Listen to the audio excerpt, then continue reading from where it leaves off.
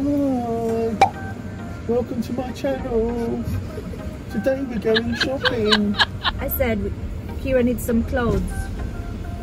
So does she. Yeah. Yes, I told you, I'll give you both money. Wide leg trousers, you said. Eh, don't you, Bob? Oh, There's only space up in the electric. So naghahanap lang kami ng car park. I mean car park Ah. space. Looks busy. Sunday, it's pissing it down, it's going to be busy. Pupunta sana kami sa next. But sabi ni Kira, doon daw siya sa Primark. So, we're going to Primark. We're going Yeah. to Primark. I'm not going in the elevator.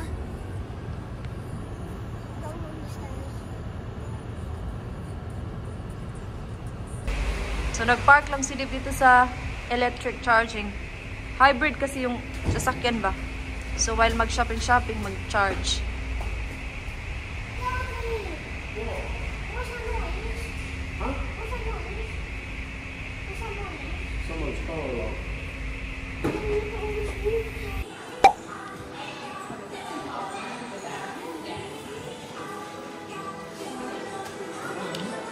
Galing kami sa Pandora kasi bumili kami ng regalo ng aking sister-in-law. Kasi birthday niya sa Thursday. Eh, Dito kami ngayon sa Primark. Yung mga hinahanap niya, yung mga wide leg daw. This one, Bob, is 7 to 8, but it looks really big. Wala na kasi mga damit si Kira. Kailangan ng bilhan. Mum, Pili, pili, dai. What size is that you looking? They have, they have, they have 7 to 8, Bob. You check? Show me. Do you like that one? Um, yeah. You don't like it? Uh, oh my god. Wait. I'll give it a I think that one looks nice, but yeah, it's a yes, this one. Yes. Kami ngayon sa fitting room. See you, Bob. Try namin yung mga nabili namin. Nandito kami sa H&M. Okay. Let me see those Yeah. beige combats. when Wait, you're not Dad. on. Yeah, she's trying the Can we get a cardigan. shell? Yeah. Wait, no. Yeah, that, that one puts together. Oh, that looks really cute. Show it to daddy. Hang on, hang on, hang on. They're cool as. They're really cool. Show it to them. Show it to them, Bob. Yoo-hoo. Kira, there. Oh, that looks really cool. Show it to daddy. Daddy, look at me. Yeah, Ay, that's nako. nice. Yeah, Buhay nanay. nice. yeah, we keep that one, Bob. Do you want to try wide leggings? Yeah, we'll try this one. That looks very cool. Show it to daddy again. No, you need to do that button. Okay, show it to them as well. It's a Let me wide have a leg. look, Bobs. Wait, I'm gonna show it to them as well. I want the beige ones as well. Okay. Well, so why don't you get the pink combats as well? Blue. Can I try the pink ones on? Will be the same size as the other ones. Can I try the pink ones on? Yeah, after we try everything. That's really good. What sort of they five to six? Yeah. Um, yeah, it's or 67. Can we try these colours? Yep. Next outfit, wide leg. That looks cool. Then we can get a belt. No, I hate belts. Yeah. Belt.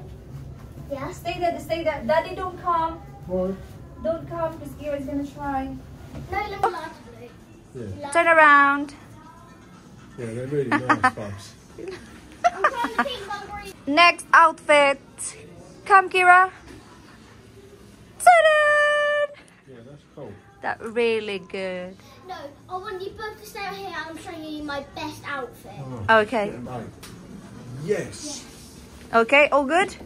So which one we're keeping and which one? So cool. I think lahat ng to guys i-keep namin except sa oh, ganito kasi dalawa yung kinuha ni Dib. Yung si- Mummy, ito yung so kukunin I'm namin. keeping these. I just have to. Can I keep these? I'm just have to. You want to get another top but a different color? Yeah? E for grey. So how's everything for today, Kira? Do you like all your clothes? Hmm. Kasi wala na kasi wala na kasi talaga siyang mga damit. Kailangan na namin bumili ba? Yung iba niyang mga damit kasi maliliit na. Mom, I need to carry all of these to the till. Yeah, Gran has tried it before. It's squatted everywhere. We are on the way home na. Uwi na kami, guys. And I'm still 10 for a day. Yeah, nakakapagod. So, wait na kami and then mag-relax and then pupunta ako sa work ng 4 to 5 kasi meron kaming meeting. Yeah. An hour meeting. Nakakahilo dito pa kapag ganun yung ano ba, car park nila. Pa zigzag. The old car, we wouldn't have been able to do that. At this is dry now. Look. It was horrible this morning. Very nice view here, especially in the summer. I'm gonna make stuff from the sky now. You're gonna what? So I make stuff from the sky. So, nandito na kami ngayon. Nakauwi na kami.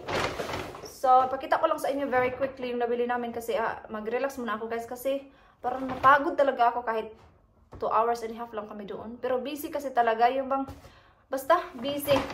So, pumunta kami sa H&M. Vlog ako. And then, kumuha kami ng mga damit ni Kira kasi wala na talaga yung mga halos makasya. So, ito ya siya. Ang ganda talaga nito sa kanya. So, kumuha siya ng isang brown at kumuha din siya ng ganito. Wala, 10 pounds lang pala to. Hindi ko na kasi tinignan. 10 pounds lang siya. So, yeah. Dalawa. Tapos, kumuha din ako ng isang ganito. Pantalo na wide leg. Kasi sabi niya, yung skinny jeans daw is hindi comfortable. So, yan yung kinuha ko. And then, ito, bagay din talaga ito sa kanya. Ito din. Naghahanap ako ng ibang kulay. Wala na, ito lang. And then, kumuha ako ng dalawa din para sa akin. So, ito.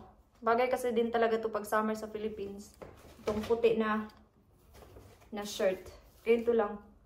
Pag magpantalon ka or mag wide leg na, na ano ba, trousers, okay lang siya. Madalian ako. And then sabi ni Dave, maganda daw yung kulay nito. Ah, maganda daw yung kulay. Sabi niya, bakit hindi mo nilang bilhin? So, ito siya. Hoodie. And then may zipper lang dito. Yung size ko pala, ngaya, yung size ko is double XS. Double XS. Yan lang.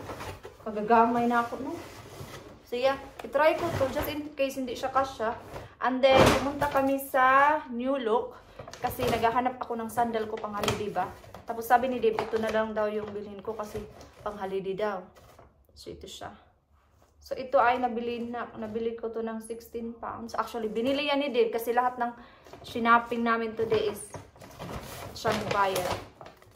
And then pumunta din kami sa Primark. Ito siya. And then bumili kami ng damit din ni Kira. Halos kay Kira to lahat. Itong jump, uh, jump, jumpsuit. Yeah. And then, kumuha din ako ng isang, uh, kumuha, sabi ni Dave, na lang din si Kira ng sandal kasi mag-holiday sila sa April, di ba? So, ito din. Size 13 si Kira sa sandals. And then, kumuha din siya ng crop top na hoodie. Ito. Laghan ko yan siya lahat. And then, kumuha din si Kira. Si Kira namili nito. Itong plain lang na long sleeve na white. And then, ito din. Last na. Ito kay Kira. Ito kasi talaga yung mga style niya. Yung mga ganito. And then, ito, meron pa palang isa. Ito, para siyang, ano, tawag, kasi tawag, ano, sa Bisaya, ah, jumper, kumbaga sa, sa Pilipinas, jumper. Meron ako nitong bata pa ako. Ito. Tapos, ganito siya sa likod. And then, pumunta kami sa Pandora kasi kailangan namin bilhan ng, yung aking sister-in-law kasi birthday niya sa Thursday. So, this is from Kira. So, bumili lang kami ng charm na may merong nakasulat na auntie. So, yeah. So, yung, yung charm is 35 pounds. Tapos, para makabili kami ng, ano, nag-add kami ng box para malagay siya sa box para maganda naman tingnan. So, kaya 40 pounds. So, yeah. So, 40 pounds yung nagastos namin dun sa Pandora. And then, pumunta kami sa Sports Direct. Kasi, naghahanap ako ng... Okay, madalian na talaga to. Kasi, naghahanap ako ng sapatos ni Mama. Last time, nagbumili ako ng Skechers. Malaki siya. Bumili ako ng isa, um, size 6. Malaki din siya. So, sabi ko, baka size 5 and a half. So, ito yung nabili ko sa kanya. Sabi ni Dave, yan na lang yung bilhin mo. So, at least kung hindi man magkasya, hindi siya masyadong mahal. So, ito yung black lang siya. And then, this is 5 and a half. So, ito yung brand niya. It's a Sports Direct. So, yun lang naman yung nabili namin for today. Ay, Bob, can you show your outfit na hindi ko napakita kami? And this is the other one. And then this one is also is from H&M. Can you sit down, what? What is the name of your hamster? Nipples. Nibbles. Welcome, Nibbles, to the family. Mm, You're so cute. Look, I think Yeah. So let me put everything away. Let me put it. the pink saggy It's it's here. and the pink saggy. Just this together. Yeah. Cool. Let me Wait, put. no, Bob, let me. Put. No. Oh, you got makeup on there. these. Okay. Let me put this away then for us, please. Let me put this away para wala tayong kalat. Nandito na ako guys sa bahay. Nakauwi na ako ngayon lang. As in 2 minutes ago. Ah, galing ako sa work kasi nag-meeting kami ng mga an hour and 10 minutes about sa mga changes sa work kasi ay, alam ko sa ano ngayon, Sunday ngayon but ngayon lang kasi talaga yung time na available yung lahat. And then ah open din kasi kami ng Sunday so sabi ng manager namin na kung available kami sa Sunday, ngayon na lang Sunday. Kasi yung iba is hindi available next week. So, ngayon is magpa 5.30 na ng hapon. So, si Kira kumain na daw siya. Pinakain na siya ni Dave. So, ak- ako is kakain din ako ng dinner. Kasi na- nag-adobo ako kagabi ba? So, yun yung kakainin ko. At saka may rice pa naman ako. So, yun din yung kakainin ko. Kasi masasayang yung rice kung hindi natin kainin. I think kulang to. So, I think magluluto ulit ako ng rice. Medyo yung hair ko ba, nag-calm down na siya. Iba kasi kahapon na grabe yung pagka, pagka ganun niya talaga. Ngayon medyo calm down na siya. Dito ako sa kwarto ni Kira. Magtanggal na ako ng aking makeup. Katatapos ko lang kumain. Hindi na ako nagluto ng rice. Kinain ko na lang yung sobra kagabi. And then, dinamihan ko na lang ng ulam. So, magtanggal na ako ng makeup kasi magpapalit na tayo ng pangtulog. Si Dave nakatulog sa sopa. Naghagok. Ano kasi yan siya, maaga nagising kanina. Alas 2 kasi maingay yung hamster. Kasi di ba tulog tulog sila sa umaga tapos gising sila sa gabi.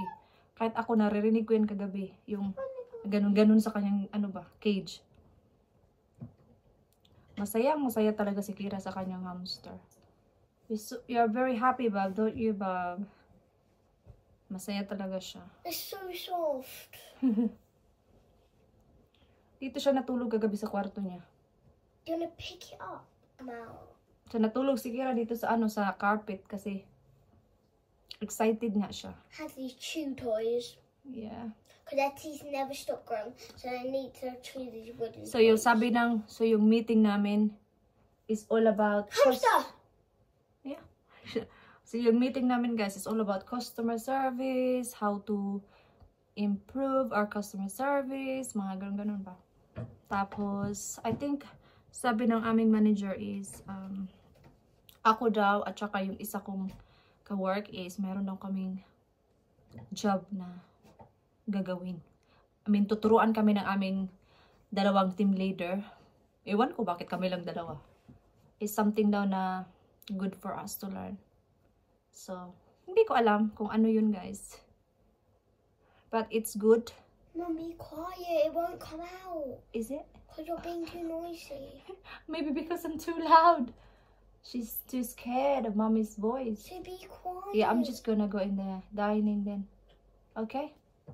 I ko na yung vlog dito kasi mag-half lang naman ako tapos tapos na kaming kumain. And wala na akong gagawin. Nag-shopping lang kami today kasi wala na talaga mga damit si Kira. Ah, Mayroon naman but kulang. Wala na siyang talaga yung mga panlakad talaga na something dressy, ganun. Kaya sabi ko talaga, today pupunta talaga tayo at mamimili tayo ng gamit ng isahan. Kasi, at saka, ayoko kasing bumibili ng damit na wala talaga si Kira kasi nasa point na siya na gusto niya siya na yung pipili ng mga damit niya, ganun. Kaya mahirap kaya kung ako ang bibili, hindi niya sinusuot. Kaya mas, it's good na pumunta kami today at nakapag-shopping kami. So yeah, end ko na dito yung vlog guys and thank you so much for watching this video. And itry ko bukas kasi this week is half term, walang pasok ng one week. So itry ko this week mag-makeup for Valentine's Day, no? Pag masingit ko siya kasi walang pasok. Pero, siyempre mag-spend time ako kay Kira.